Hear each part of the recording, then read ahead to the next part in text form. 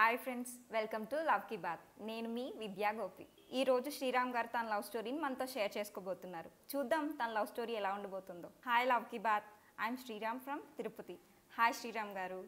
నా love story నేను first year బీటెక్లో ఉన్నప్పుడు స్టార్ట్ అయింది. నేను తనని సెక్షన్స్ డివైడ్ చేయకముందు చూశాను.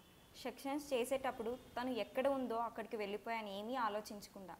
కొన్ని రోజులకి నా లవ్ తనకి ఎక్స్ప్రెస్ చేద్దామని అనుకుంటుండగా తను కూడా నన్ను లవ్ చేస్తుందని తన ఫ్రెండ్ ద్వారా తెలిసింది. అలా ఒక రోజు మాటల్లో తనకి నేను లవ్ చేస్తున్నట్లు చెప్పేశాను. తను కూడా యాక్సెప్ట్ చేసింది. ఆ రోజు నుంచి తన ప్రజెంటేషన్స్కి వెళ్ళినా టూర్స్కి వెళ్ళినా ఇద్దరం కలిసే వెళ్ళేవాళ్ళం. ఒకరోజు తనని పేరెంట్స్కి పరిచయం చేద్దామని ఇంటికి తీసుకెళ్ళాను. ఇంట్లో అందరికీ చాలా బాగా నచ్చేసింది. సరదాగా మాటల్లో తనతో నన్ను ఎప్పుడు మీ ఇంటికి తీసుకెళ్ళి పరిచయం చేస్తావని అడిగాను.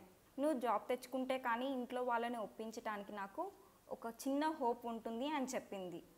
అనుకున్నట్లుగానే థర్డ్ ఇయర్లో ప్లేస్మెంట్ సెక్షన్లో జాయిన్ అయ్యాం. కొన్ని రోజుల తర్వాత క్యాంపస్ ఇంటర్వ్యూస్లో సెలెక్ట్ అయ్యాను జాబ్ వచ్చింది. తను సడన్గా కాల్ చేసి ఇంట్లో సంబంధాలు చూస్తున్నారని చెప్పింది. ఏమీ ఆలోచించకుండా వాళ్ళ ఇంట్లో వాళ్ళతో మాట్లాడడానికి వెళ్ళాను. నేను తన క్లాస్మేట్ అని నేను తనకి లవ్ చేస్తున్నాను తనకు అసలు తెలియదని చెప్పింది.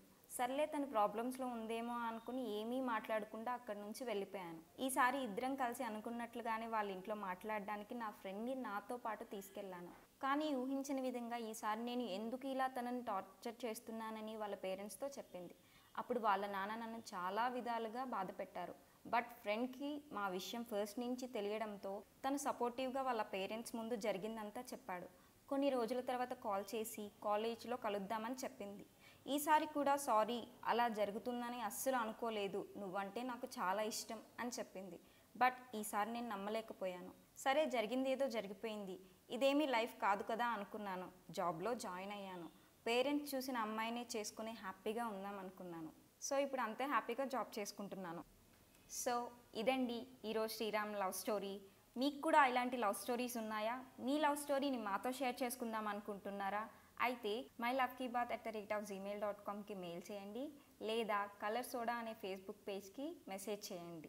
మీ లవ్ స్టోరీ కోసం లవ్ కీ బాత్ వెయిట్ చేస్తూ ఉంటుంది. అప్పటి వరకు మా ఈ వీడియోని లైక్ చేయండి షేర్ చేయండి సబ్స్క్రైబ్ చేయడం మర్చిపోకండి.